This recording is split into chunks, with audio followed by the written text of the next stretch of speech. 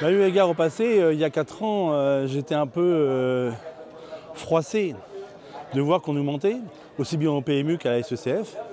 Et malheureusement, 4 ans plus tard, bah, c'est la même chose. On va commencer par le PMU qui euh, nous indique que les voyants sont au vert, alors que ce n'est pas le cas du tout, puisque la marge continue de baisser depuis 2019. La marge, ça génère des locations, donc on ne peut pas se satisfaire de ça. D'autant qu'il y a un problème de partant. Donc euh, euh, la marge ne va pas s'améliorer. Également, euh, ils veulent réinvestir dans leur système informatique. Donc là, ils vont réembaucher du personnel pour remettre au goût du jour leur outil de travail. Donc tout ça, c'est très bien, mais ils ne vont pas pouvoir faire d'économie. Donc de ce côté-là, on n'est pas très bien garé.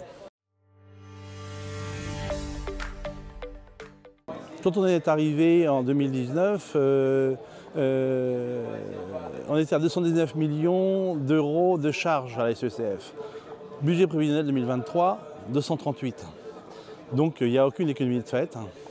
On a réinvesti dans le Thémis, qui est une gageure, j'imagine, parce qu'il n'y a pas assez de place pour euh, ni le PMU, ni les gens du Trot, ni les gens du Galop dans le bâtiment. Donc on, fait, euh, on va faire du, télétravail parce qu'il n'y a, pas assez de place pour tout le monde. Donc euh, vous voyez un petit peu le- le bazar. Euh, Il n'y a, a- plus de partants, donc euh, rien n'est mis en place pour euh, euh, préparer l'avenir. Euh, do- donc euh, on ne comprend pas. Euh, pendant le Covid, il n'y a pas eu de PG de, feu, de PG de fait pour aider les entreprises à conserver leur volume de chevaux. Donc tout le monde a fait des économies et puis maintenant bah, il n'y a plus de chevaux, il y a moins de naissances, il n'y a plus assez de chevaux pour engager, plus, plus, de, plus suffisamment de chevaux, moins de chiffre d'affaires, moins de chiffre d'affaires, moins d'allocations pour le- le- le- le- les, les entraîneurs. Donc où va-t-on? Et, et rien n'est prévu. Donc c'est lamentable. Alors l'avenir, l'avenir, on, a tout ce qu'il faut pour bien faire.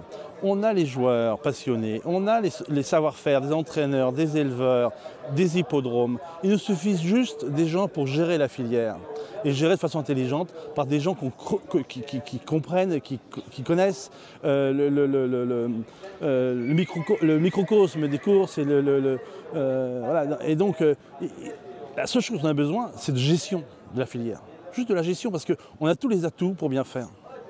Tous les atouts pour bien faire. Et c'est ce qu'on propose avec l'USCH, Union de sauvegarde des courses, EPIC. C'est la gestion de la filière, uniquement ça. Il suffit de ça.